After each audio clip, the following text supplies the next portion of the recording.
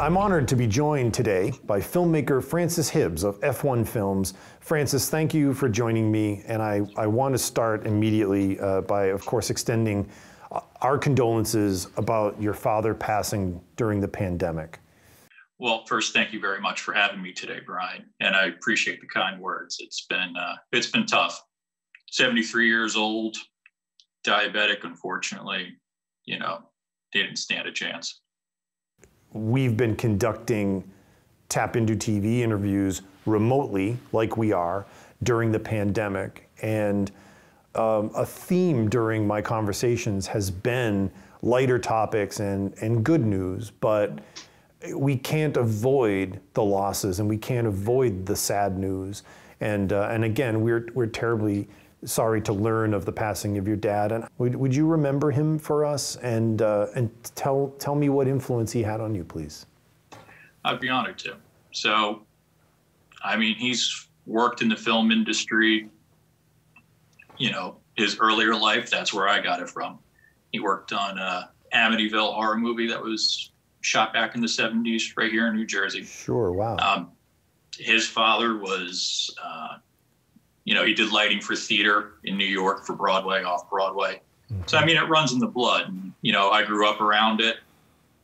Uh, you know, I'm just fully into it, fully immersed into filmmaking, every aspect of it. It's it's kind of in my blood. And you know, I got all that from him. You know, he was the first one to ever put a camera in my hand. Wow. teach me, you know, how to use f-stops. Well, f-stops, and the name of your company is F1 Films. But I wanted to have you on today to talk a little bit about your independent film career. Tell me about your project City of Dreams. Uh, my project City of Dreams uh, started off as a short film.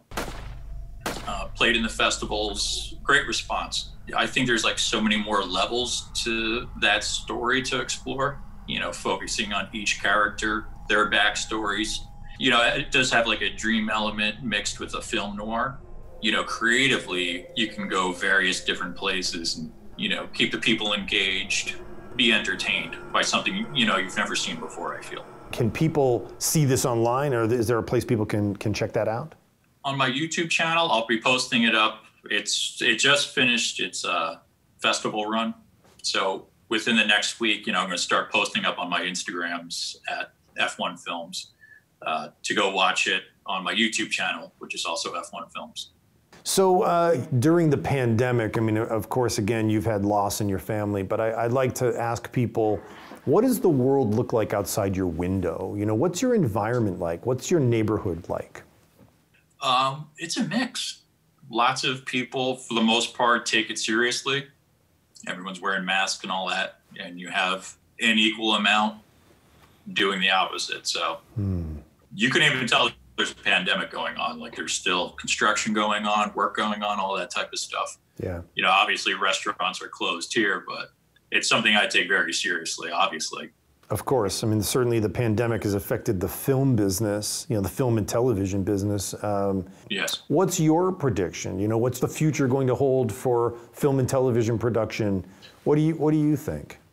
I mean, it's going to be a while. I think we'll really know what's going on come the fall whether this is going to be here for a while or you, it's going to pass. But I think people are going to be eager to get back to the theater. Netflix and Amazon clearly doing very well. Yeah. But I mean, there's always room for content. And I think it's going to change in ways that we can't even imagine right now. True. But we're, as filmmakers, we're always going to be creating. There's always going to be a market for us. It's just going to be a different landscape, I think. Last question, we'll wrap it up. If I gave you the blank check, right, and you were going to make the film of your dreams, do anything you want, what would you do? That's a good question. Didn't see that one coming. no, no, you got me on that one. I'll have an answer. I'd make all of them. I have at least five or six concepts. I could make all of them within that whatever budget. I like that answer. it's not one film. I'm going to do them all. I would do them all, and you'd probably have money coming back to you. Wow, it's amazing. Uh, listen, Francis, thank you uh, for joining me. And, and again, from everybody here, we're so sorry to hear about the passing of your father. I am very honored to be here today. It was a great experience, and thank you very much for having me, Brian. We'll catch up soon, and please stay safe and healthy. Thank you.